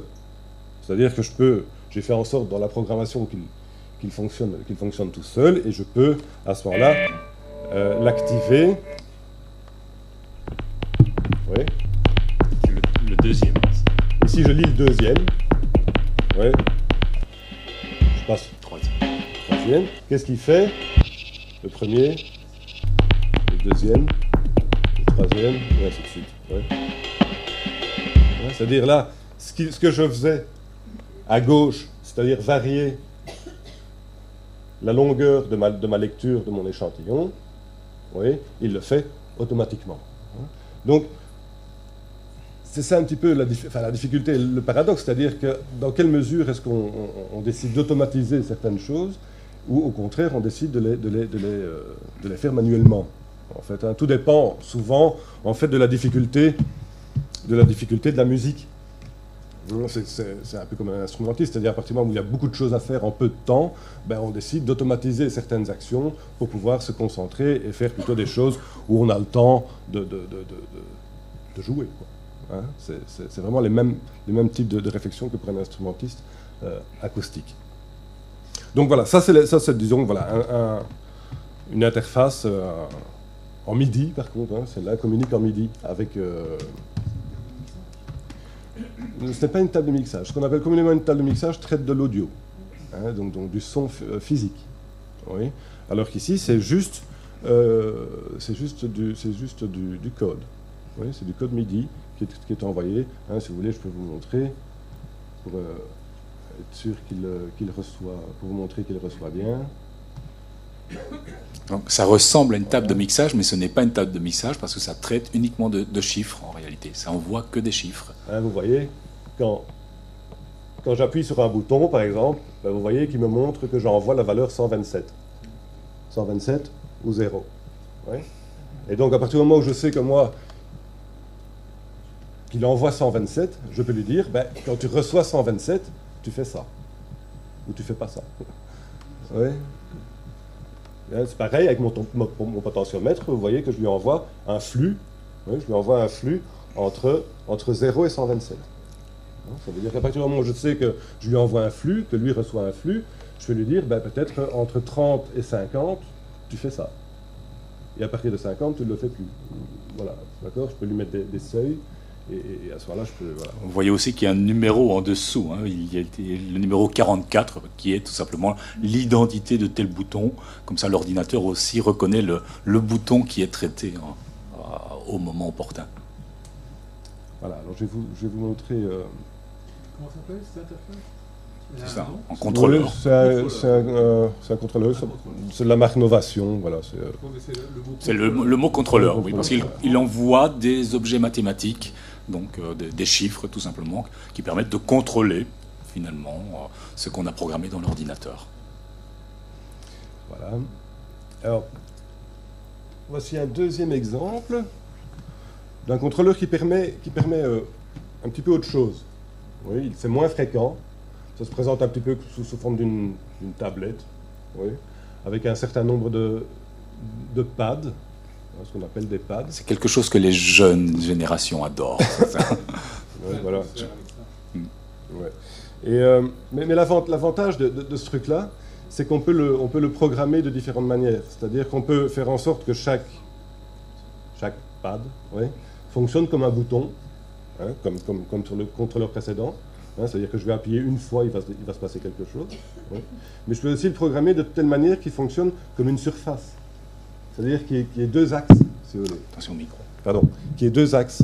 Un axe des X et un axe des Y. Hein. si, si, je, si, je, si vous regardez ce que je fais là, voilà.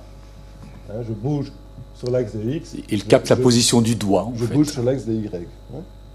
Ça veut dire que je peux à ce moment-là contrôler évidemment tout à fait, euh, tout à, tout à fait autre chose.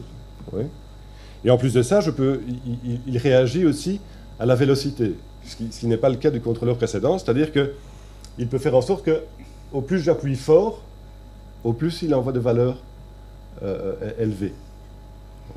Ce qui permet aussi de, de, peut-être pouvoir faire apparaître certaines choses. Hein, voilà, par exemple, si, si j'appuie de plus en plus fort, on a quelque chose qui apparaît, et qui, en plus ici va, non seulement ça apparaît, mais en plus, ça vous l'entendez peut-être pas, mais ça va de plus en plus vite.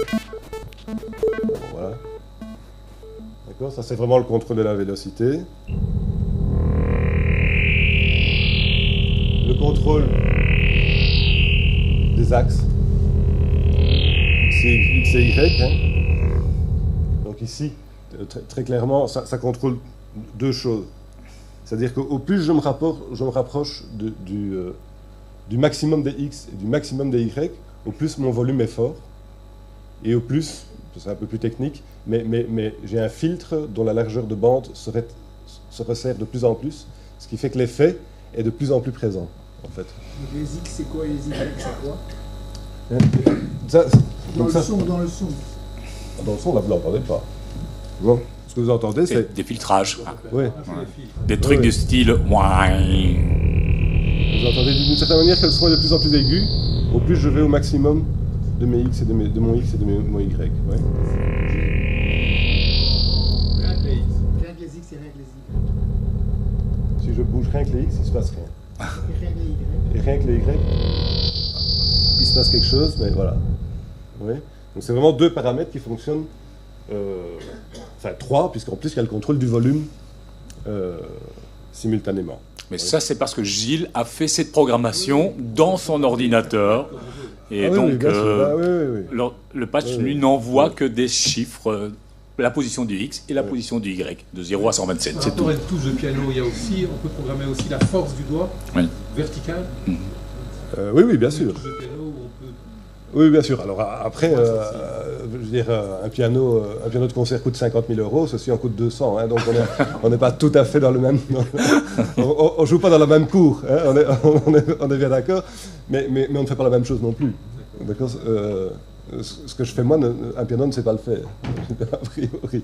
Donc voilà. Mais, espérer avoir la même, sensibilité sur ce genre d'interface qu'avec euh, un instrument acoustique, c'est autre chose.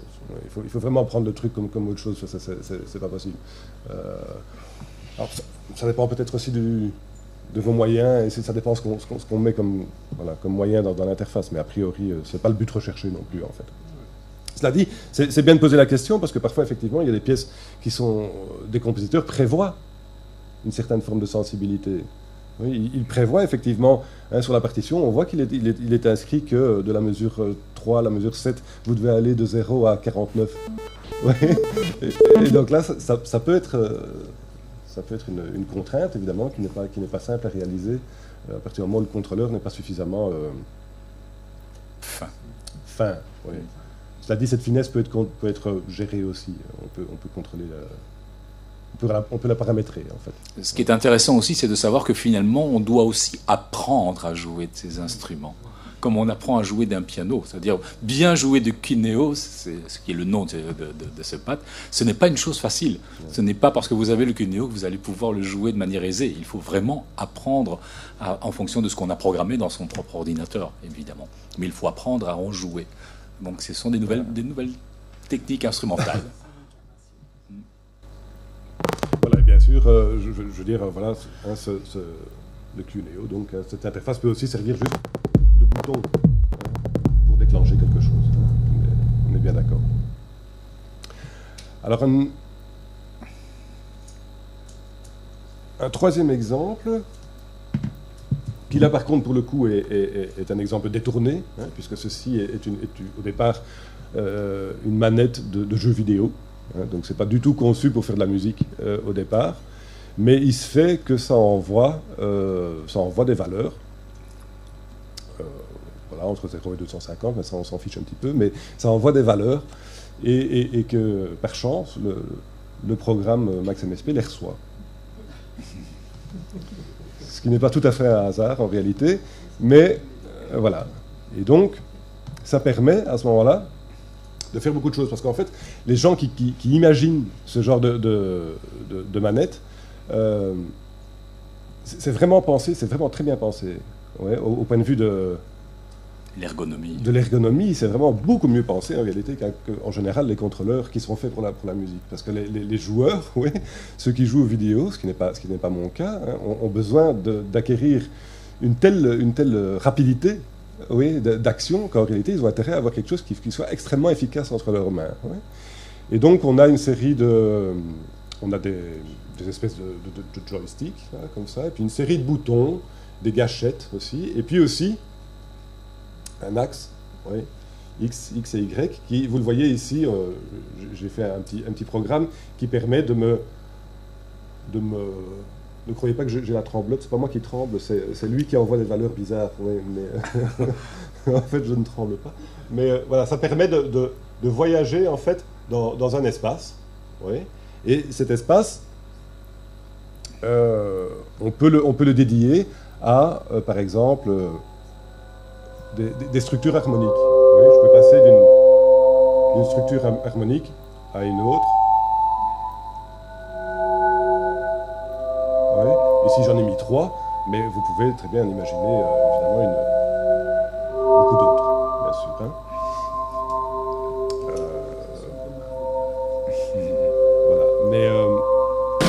ça peut servir aussi de, déclencher des choses. Les, ici les boutons. Je peux déclencher des choses ponctuelles ou avoir des choses au contraire, encore une fois, linéaires. Ici, c'est un petit peu, un petit peu différent. Euh, c'est un petit peu différent que le, contrôleur précédent, que le Cuneo. Euh, même si ce que je suis en train de faire là pourrait être fait par un Cuneo aussi. Mais l'avantage de, ceci, c'est que je, je je l'ai surélevé. Et quand vous avez un chef devant vous qui dirige avec des, mesures, des mesures, des changements de mesures compliqués, je vous dis que c'est vraiment beaucoup plus efficace d'avoir les yeux en hauteur plutôt que river sur son, contrôleur. Donc ça, c'est vraiment quelque chose de... C'est purement de, l'efficacité en, concert, notamment.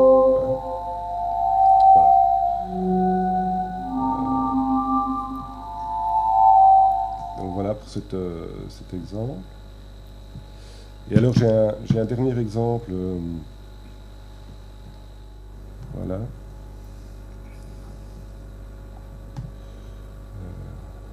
si ça marche. Ça a l'air de marcher. Voilà. Qui est aussi un truc euh, en fait détourné. Hein. Donc c'est juste un, petit, un petit objet qui génère un, champ magnétique. Et ben, quand, ma main entre dans le champ magnétique, euh, il détecte effectivement, comme Claude le disait, euh, des choses assez subtiles, parce qu'en fait au départ, c'est créé euh, pour, pour contrôler notamment des smart TV et ce, genre de choses. Oui. Donc on doit pouvoir aller choisir les, les, canaux, on doit aller choisir les, différentes chaînes et tout ça. Donc il faut quand même des, contrôles assez subtils uniquement avec la, avec la main. Ici j'ai fait un truc qui est beaucoup plus grossier. Hein, mais, donc l'idée c'était de détourner ce, truc-là, parce qu'encore une fois, cette, cette motion envoie des, envoie des nombres, oui, envoie des nombres, et donc à partir du moment, voilà, on les, on les, a, on les a captés. Et hein, c'est un peu pareil qu'avec la. Qu'avec la. vous voyez, je peux me déplacer. Je vais mettre un peu moins fort, le son distordu. Je me déplace donc dans, l'espace. Et encore une fois, chacune des zones peut être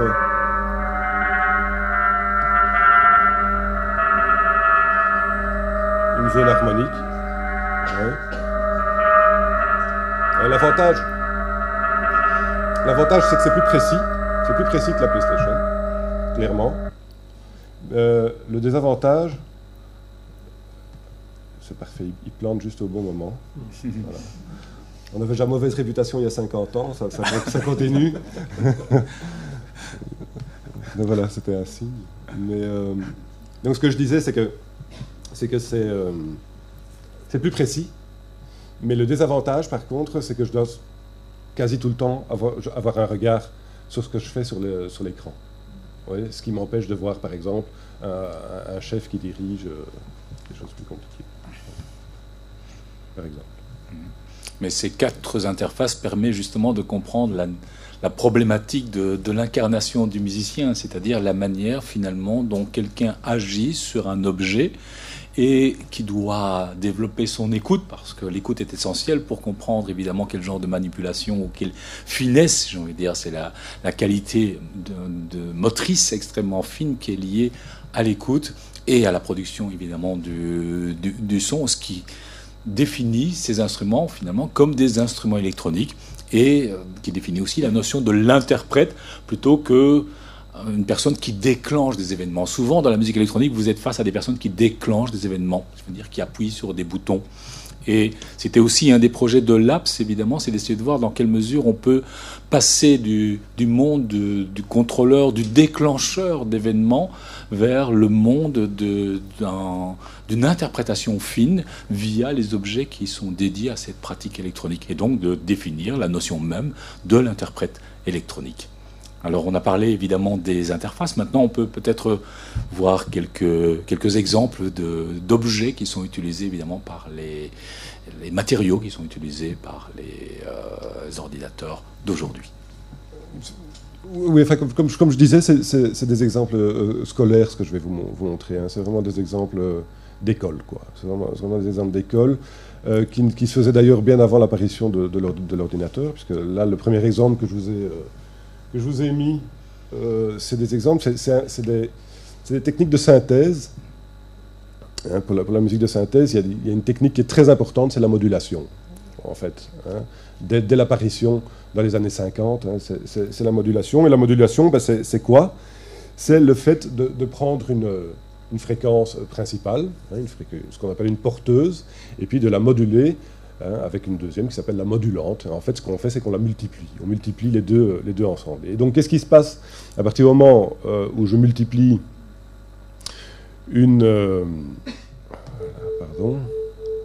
Hein, de... euh, par exemple, donc ça c'est ma fréquence porteuse, c'est celle qui est en vert sur l'écran. C'est le premier exemple, celui qui est tout à fait à gauche. Donc là, elle est multipliée par rien. C'est comme un la diapason finalement. Voilà. Hein. Et c'est à partir du moment où je, je monte la fréquence de la modulante, elle aussi,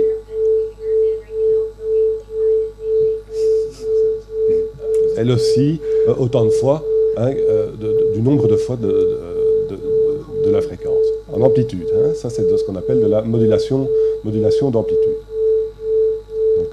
Donc, c'est vraiment une technique euh, utilisée depuis, euh, bah, depuis euh, plus de 50 ans maintenant. hein. Et si je mets une fréquence beaucoup plus, beaucoup plus haute de ma modulante, j'obtiens un accord, oui, dans ce cas-ci, un accord de la majeure renversé sur sa quinte. Voilà. C'est ce qu'on appelle la modulation d'amplitude. Si je fais la même chose, hein, euh, alors c'est un peu technique, bon, je, passe, je passe vite, oui, mais cette modulation d'amplitude se fait avec euh, une modulation qu'on dit euh, unipolaire. oui. Maintenant, si je fais cette, même chose avec une modulation qui n'est plus euh, unipolaire mais bipolaire, on obtient ce qu'on appelle, c'est quelque chose de, très courant aussi en synthèse, c'est de la modulation en anneau.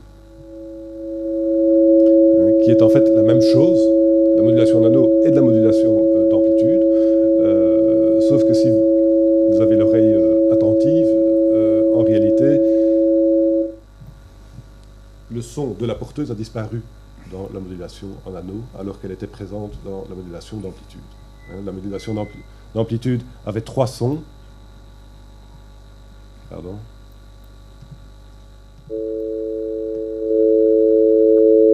Il y a trois sons.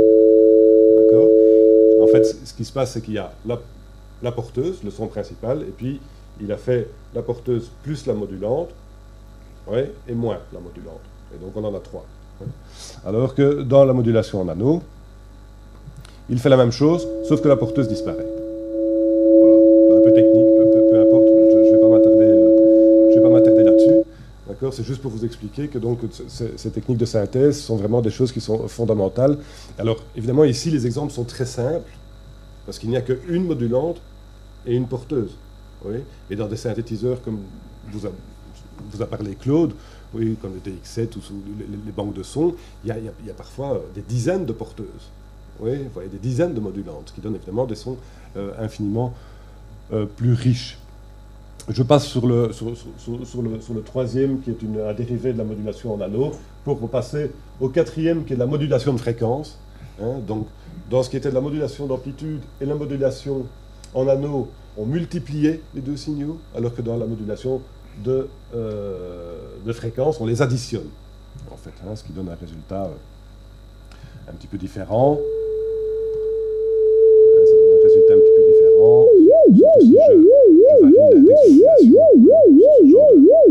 Surtout ce genre de, son qu'on entendait fréquemment euh, dans la musique électronique. Oui, ou voire avant, voire avant les années, voire avant les années. Même Stockhausen utilise euh, ces problèmes Voilà. dans les années Et- 50. Et aujourd'hui, on fait ça très facilement avec un logiciel de type Maxim XP ou, ou autre chose, alors qu'à l'époque, il fallait des générateurs. euh, voilà. Euh, et donc, ça, c'est vraiment c'est de la synthèse. hein. c'est, le- c'est- c'est- c'est les deux pans dont, dont Claude a, a parlé. Il y a à la fois la synthèse et puis le travail sur les, sur les échantillons. Alors, des choses très, très, encore une fois, très, très basiques qu'on trouve euh, dans le travail sur les échantillons, c'est notamment euh, ce qu'on appelle des delays. Alors un delay, c'est extrêmement simple, et ça se faisait bien avant aussi euh, euh, l'apparition de l'informatique. hein. C'est ce qu'on appelait un- une ligne à retard, c'est-à-dire qu'on mémorisait un son, et puis on le réinjectait X temps après. D'accord? Donc ici, j'ai fait l'expérience tout sim- toute simple avec un son, avec un son de cloche. hein. Voilà. C'est tout simple, c'est le son de cloche original, oui, est réinjecté, dans ce cas-ci, une demi-seconde une demi-seconde plus tard. Donc les mis en mémoire, oui, et puis réinjectés une demi-seconde plus tard. Ce qu'on utilise très souvent euh, dans les effets de delay que vous trouvez dans tous les logiciels, de type séquenceur ou tout ça, c'est plutôt un delay avec feedback, ce qu'on appelle avec feedback. C'est-à-dire qu'une fois que donc le son est mémorisé, et puis il est réinjecté, mais ce qui est réinjecté va à la fois dans la sortie qu'on entend, mais il est réinjecté dans le système. Oui. Plus, plus ou moins indéfiniment. Oui. C'est ce qu'on appelle donc un, délai avec, avec, feedback, ce qui donne dans mon cas simple oui, un résultat simple. Oui. Excusez-moi, si je le mets trop fort, ça va. Ça va aller. C'est un vrai son de cloche. Oui. Ça, c'est un vrai son de cloche. Ça, c'est du sampling. D'accord? Donc c'est le, même, c'est le même effet que précédemment, sauf que cette fois-ci, maintenant, il y a du feedback. Hein. donc il est réinjecté hein, et, et s'atténue progressivement. C'est comme un Larsen contrôlé à Larsen, c'est, c'est, autre chose. Hein. À Larsen, c'est, c'est autre chose, mais c'est le, on peut dire que le, principe de réinjection. équivalent. C'est le principe de la réinjection. Quoi. Et donc, ensuite, il y a, il y a, il y a de, nombreux effets hein, euh, que vous avez dans le, dans le, cadre orange, là, donc apparemment, encore une fois, c'est un cas d'école, mais ce qu'on appelle un flanger, qui est en fait la combinaison des techniques de synthèse dont j'ai parlé euh, il y a un moment, oui, de, de, modulation, en fait, combiné avec un traitement de delay. Oui, c'est-à-dire que c'est ce qu'il y a de plus courant aujourd'hui, il n'y a plus du tout cette scission entre, euh, musique de synthèse ou musique euh, concrète, comme on l'appelait euh, à, l'époque. Oui, tout, tout se mélange et les, différentes techniques, évidemment, se combinent et se, complètent. Oui. Dans le cas d'un flanger, c'est tout, à fait, tout à fait ça. Hein, je vous fais entendre l'effet. J'ai choisi de, vous donner justement des exemples extrêmement simples parce que, en général, dans ce que vous trouvez au point de vue logiciel, il est très rare de, trouver des effets aussi simples. En général, les effets qu'on trouve sont des combinaisons d'effets. C'est-à-dire que vous allez trouver à la fois un filtrage, à la fois une distorsion, à la fois un flanger, à la fois une modulation, à la fois et tout dans une espèce de pack euh, en, un qui vous donne euh, voilà, quelque chose de plus ou moins incompréhensible. Alors que, voilà, c'est plutôt pour ça que j'ai décidé de vous montrer des exemples simples. Donc ça c'est mon son de cloche qui est passé. On entend bien, on entend bien l'effet du, délai avec feedback, hein, puisqu'il y a une réinjection qu'on entend, euh, voilà, comme dans l'exemple précédent. Mais il y a eu une transformation du timbre, très clairement. il y a eu une transformation du timbre qui était due à une modulation et à une technique de, synthèse qui était euh, présente dans l'exemple précédent.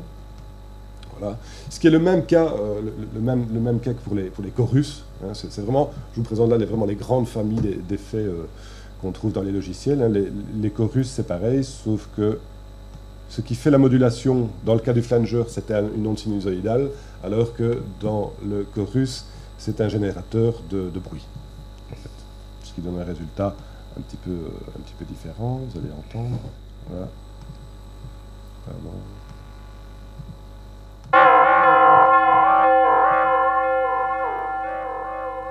On sent que la modulation n'est pas régulière. Tant que ça, parfois ça apparaît, que ça disparaît, c'est irrégulier. On parlait du bruit justement au début de la conférence en disant que c'était un objet apériodique, irrégulier finalement, et un peu chaotique. C'est irrégulier parce que la source même de la modulation, hein, la modulante si vous voulez, euh, est, ici un générateur de bruit, donc quelque chose d'aléatoire. Euh, voilà comme ça, vous avez en même temps une petite réflexion d'interprète, de, professeur aussi, et euh, ça nous permet de comprendre ce qui se passe aussi sur un écran d'ordinateur lorsque on se trouve en situation de, concert, parce que vous avez ce genre de, de patch évidemment qui sont euh. Alors il nous reste une petite euh, demi-heure, donc je propose simplement de terminer, de reprendre un petit peu la parole pour terminer en montrant quelques exemples musicaux, évidemment, qui vont nous permettre d'être in situ par rapport à la, création musicale.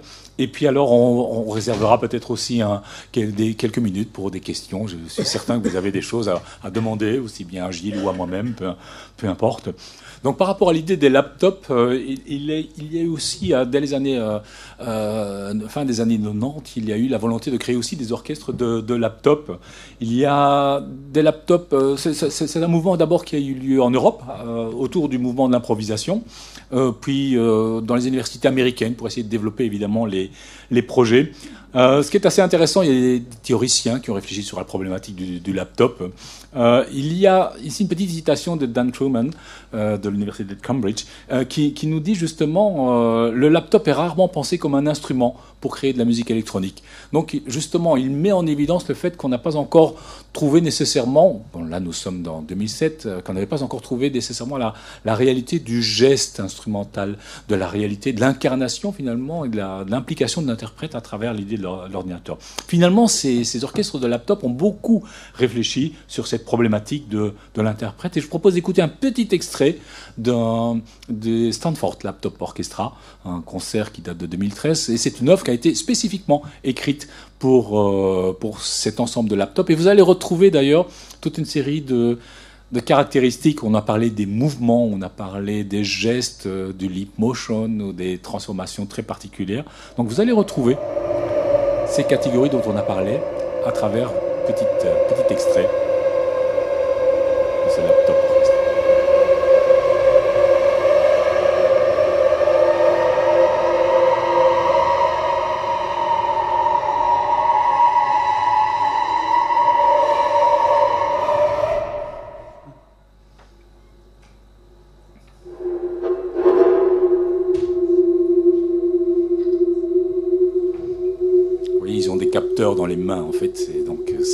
Calculer l'espace XY, justement, dans lequel il se trouve, et ça indique des informations qui sont transmises à la machine. Et il y a un chef d'orchestre, parce qu'il y a une partition, évidemment.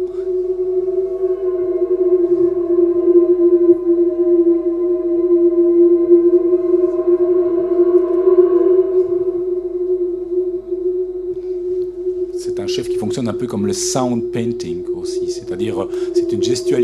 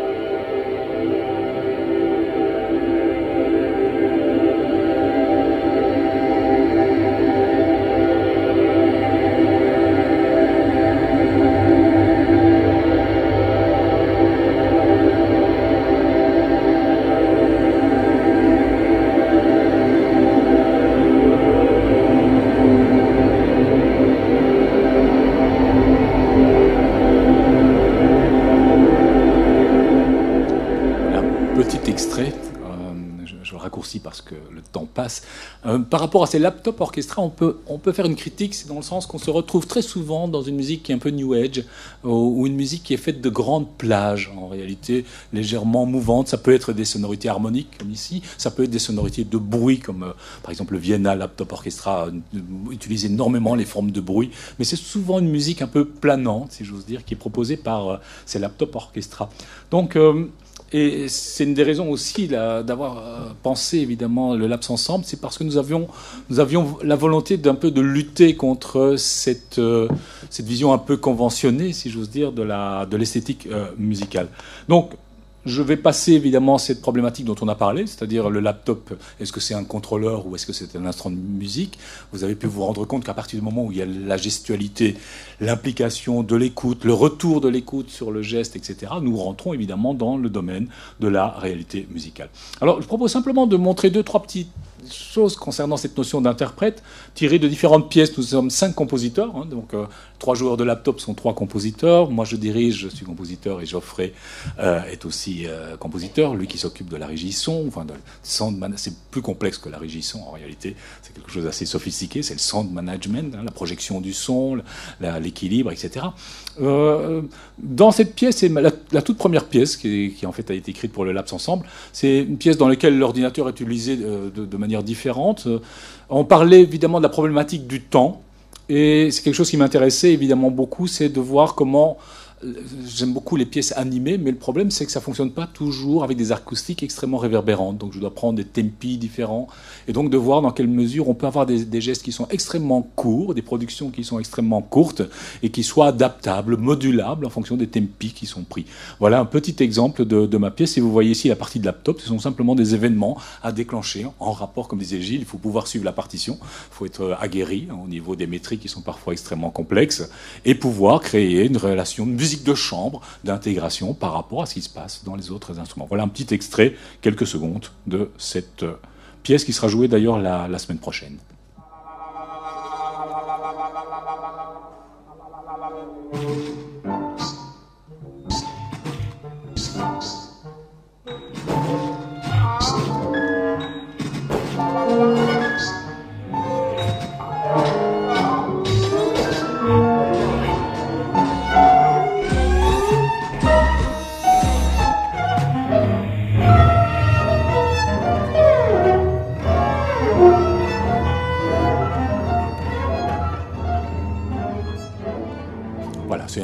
Petit extrait qui est tout à fait hors contexte. Évidemment, il faut entendre la pièce dans l'entièreté pour savoir ce que ça signifie, évidemment. Euh, mais simplement pour se rendre compte qu'on peut utiliser, évidemment, les vertus de l'écoutant qui tente de travailler sur l'équilibre de l'objet dans une relation chambriste et dans, dans une euh, direction rythmique extrêmement précise. Il y a Pierre Slings, dont j'ai déjà parlé, celui qui a euh, parlé des musiques populaires, qui s'intéresse beaucoup aussi aux musiques populaires et qui tente aussi de créer des formes de détournement des musiques populaires. Ici, c'est un petit extrait d'une pièce aussi euh, qui, qui, date de 2014, une pièce assez ancienne. maintenant, le temps passe très vite, ce n'est que trois ans, mais enfin, c'est quand même une pièce ancienne. et donc, vous voyez les parties de laptop à la partie inférieur, où il y a deux laptops, c'était Gilles et Pierre qui, qui jouent. Et donc il y a l'utilisation des deux mains aussi. C'est-à-dire il y a, on doit être ambidextre comme un pianiste et on doit gérer différentes qualités de timbre euh, à travers les potentiomètres, à travers donc euh, il y a une main qui joue les notes sur un clavier, il y a une autre main qui joue avec les potentiomètres et donc on a les, les mouvements de potentiomètre qui sont indiqués pendant que vous avez le laptop 1 qui propose aussi une série de transformations sur un son tonu, sur un mouvement. Donc il y a une sorte de duplication des gestes à travers euh, cette, euh, cette, structure qui permet aussi de dialoguer avec les instruments et qui ramène au beat d'ailleurs des musiques populaires.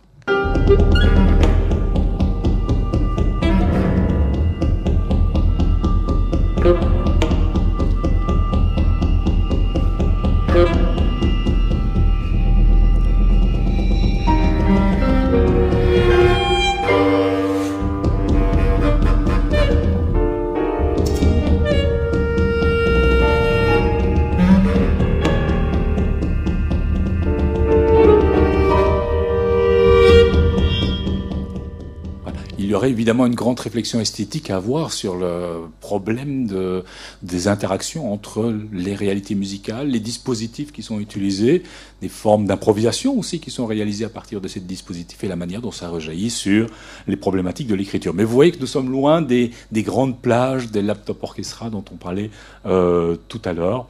Et hum, j'aimerais maintenant rendre hommage un peu à, à Geoffrey qui est qui a écrit une pièce qui est une sorte de pièce dans laquelle il nous disait c'est une sorte de recyclage par rapport aux objets qui, euh, font l'univers de, de, de l'APS, euh, ce qui est bien aussi dans l'esprit de son temps finalement.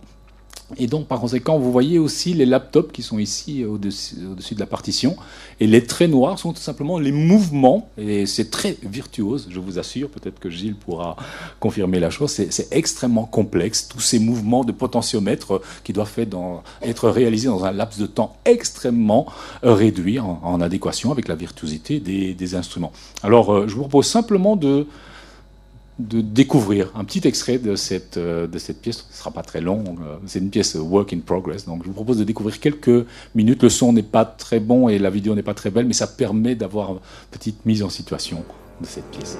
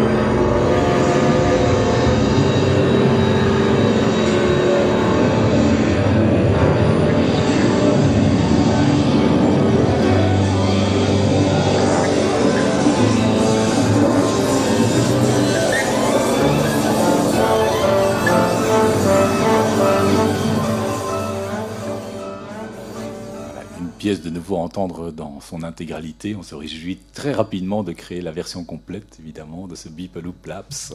Donc on attend, Geoffrey, ta, ta version finale. Euh, voilà donc euh, des moments où vous vous rendez compte aussi qu'il est difficile de se rendre compte qu'est-ce qui est de l'ordre de l'instrument, qu'est-ce qui est de l'ordre de l'électronique. Donc il y a aussi cette idée d'une forme d'hybridation. Et je terminerai avec cette idée de l'hybridation, puisqu'on avait commencé avec de l'inouï, et on terminera avec euh, l'hybride. Il y a l'hybride évidemment entre les ordinateurs portables, les sonorités de l'ordinateur portable et puis les instruments. Et puis il y a aussi ces instruments qui deviennent hybrides au contact de l'ordinateur portable. Nous avions eu l'occasion de créer, justement avec le Labs Ensemble, une pièce de Juan Arroyo, qui est un compositeur péruvien, qui justement travaille sur une sorte de dimension d'instruments augmentés par, des, par de l'électronique, mais en se disant que l'électronique n'est pas quelque chose de nécessairement visible. Et donc, par conséquent, cette idée d'un instrument hybride, c'est l'idée d'un instrument qui va être transformé, qui va interagir, j'ai envie de dire, avec euh, des, ordinateurs qui sont là, mais qui sont parfois cachés. Donc euh, il y a une dimension un peu mystérieuse qui existe dans ces, instruments euh, augmentés. Voilà un des chercheurs de l'IRCAM qui travaille aussi sur cette idée d'instrument hybride. Il nous dit que le principe de l'instrument hybride est basé sur l'utilisation d'instruments acoustiques qui sont contrôlés par feedback, c'est-à-dire il y a un dialogue permanent avec la machine, avec du traitement de la synthèse sonore en vue d'étendre les possibilités sonores des instruments. Le son final est ainsi hybride. Il provient de la superposition de la vibration acoustique et de son traitement numérique. Euh, comment ça fonctionne? Voilà un exemple d'instrument hybride. Euh, c'est tout simplement le fait que la vibration de l'instrument, on va travailler plutôt sur des phénomènes vibratoires. La vibration de l'instrument est captée par ce qu'on appelle un piézoélectrique, c'est-à-dire il va transformer la vibration de l'instrument en électricité, en courant électrique, et tout simplement qui peut être codifié aussi de manière mathématique. Donc c'est envoyé à la machine, et la machine va prendre ce, courant électrique, va le traiter de manière différente, et va renvoyer ce, ce courant électrique transformé et va créer une nouvelle vibration à l'intérieur de l'instrument. Donc il n'y a pas de haut-parleur, c'est l'instrument lui-même qui est le haut-parleur, en réalité. Alors à l'intérieur de l'instrument, donc on a dû décoller un violoncelle, on a mis le piezo à l'intérieur, et puis après on remet la table. Et, donc qu'est-ce que se passe-t-il? C'est un, un, instrument, l'instrument devient le haut-parleur. Et il y a voilà, euh, la pièce est écrite pour l'Abs Ensemble. Évidemment, on voyait bien les, les, joueurs de laptop qui manipulaient quelque chose, mais le, fondamentalement, le son sortait par le, par, par, le violoncelle. Donc, je conclurai avec ce petit extrait de cette, de, cette pièce qui a été créée au Festival Transit. Voyez le début, de nouveau, l'idée des potentiomètres, et on a des indications de potentiomètres dans la partition. Et donc, c'est un violoncelle, mais dès le départ, vous allez entendre un violoncelle complètement transformé, parce que c'est le laptop qui va transformer ce violoncelle, mais le son ne sortira pas par des haut-parleurs, il va sortir par le violoncelle lui-même. C'est le violoncelle qui est une caisse de résonance des laptops.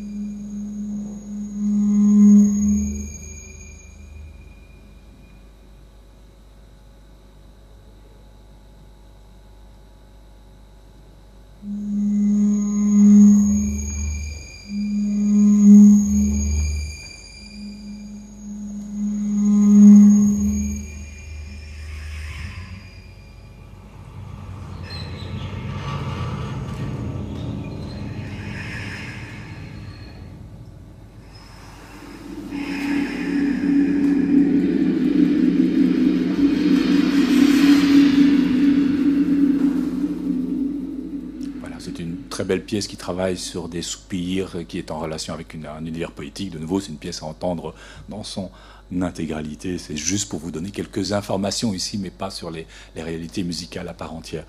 Voilà, je terminerai ici cette euh, conférence. J'espère qu'elle vous a permis d'avoir quelques informations concernant évidemment ce que peut être un ordinateur portable dans sa relation avec les instruments. Euh, ça ouvre la voie vers de nouvelles aventures, vers le 21e siècle. Donc je vous remercie d'avoir écouté attentivement nos, propositions. Et si vous avez des questions, nous sommes totalement ouverts parce qu'il nous reste encore une bonne dizaine de minutes. Euh,